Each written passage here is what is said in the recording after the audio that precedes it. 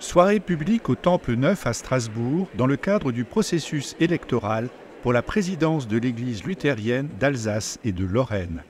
Une soirée pour faire connaissance avec les trois candidats qui seront départagés lors de l'élection officielle par les 25 membres du consistoire supérieur de l'Église luthérienne. Conçue comme un véritable débat télévisé, cette soirée est retransmise en direct sur les réseaux sociaux.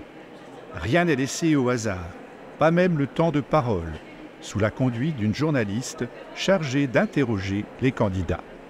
On peut se réjouir en fait du nombre de questions, un nombre très très important. Il y a plus de 50 questions qui ont préalablement été posées sur le site internet de l'UEPAL. Donc des questions sur le fonctionnement, des questions sur la jeunesse, sur les vocations, sur l'église inclusive, sur euh, l'interreligieux, l'œcuménisme, etc. Candidats pour un mandat de 10 ans, ces trois pasteurs ont chacun leur personnalité particulière.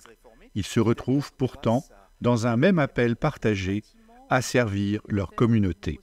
J'ai été invité à le faire par euh, un certain nombre de gens qui m'ont demandé de poser ma candidature et puis parce que euh, je pense sincèrement euh, avoir envie de contribuer à l'avenir de l'Église et d'avoir des piste aussi pour euh, permettre un témoignage de l'évangile fluide, joyeux et espérant dans ce monde. C'est d'abord euh, un appel et beaucoup d'encouragement. Hein. ça, c'est la première chose. Sinon, j'y serais jamais allée seule. Ça, c'est clair. C'était une décision difficile à prendre. Et puis après, à un moment donné, on, on chemine et on se dit voilà, les expériences que j'ai, ce que je suis, je peux le mettre au service de cette fonction.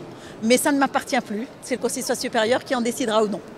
Alors je suis effectivement candidat parce que j'ai eu un appel, euh, il y a de deux, cela deux ans à peu près, euh, un appel téléphonique où plusieurs personnes euh, m'ont dit que ce serait bien que je me prépare à poser ma candidature à la direction de l'église luthérienne.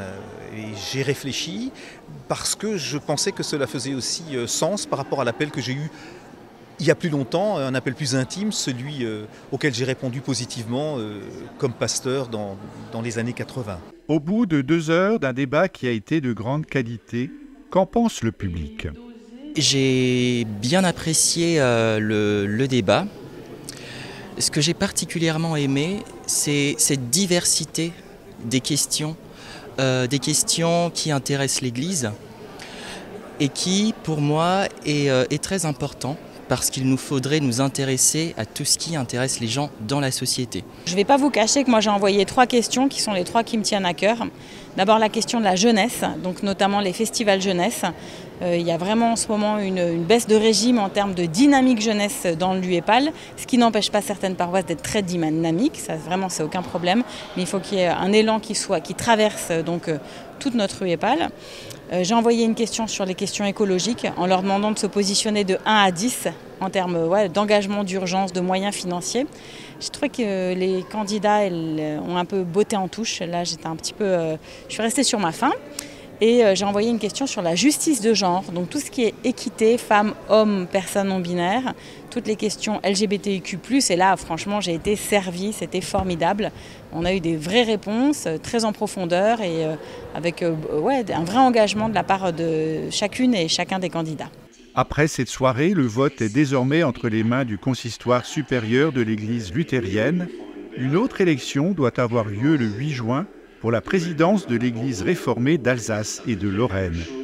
Début décembre, le conseil plénier de l'UEPAL choisira l'un d'entre eux pour être son président ou sa présidente.